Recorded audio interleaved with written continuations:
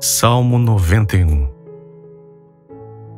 Aquele que habita no abrigo do Altíssimo e descansa à sombra do Todo-Poderoso, pode dizer ao Senhor: Tu és o meu refúgio e a minha fortaleza, o meu Deus, em quem confio.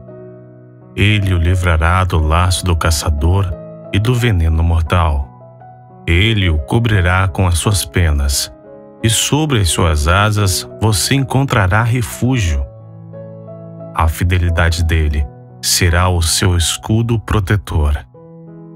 Você não temerá o pavor da noite, nem a flecha que voa de dia, nem a peste que se move rasteira nas trevas, nem a praga que devasta ao meio-dia. Mil poderão cair ao seu lado, dez mil à sua direita, mas nada o atingirá. Você simplesmente olhará e verá o castigo dos ímpios.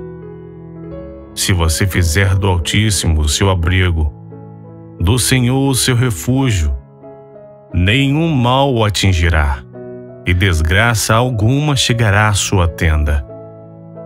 Porque a seus anjos ele dará ordens a seu respeito, para que o protejam em todos os seus caminhos.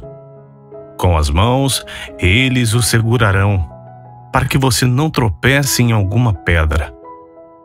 Você pisará o leão e a cobra, pisoteará o leão forte e a serpente, porque ele me ama. Eu o resgatarei, eu o protegerei, pois conhece o meu nome. Ele chamará a mim, e eu lhe darei resposta.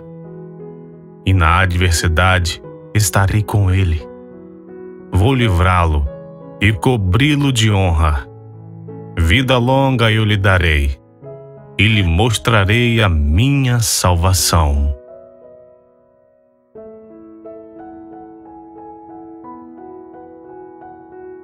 Motivação cristã. A Deus toda glória e louvor.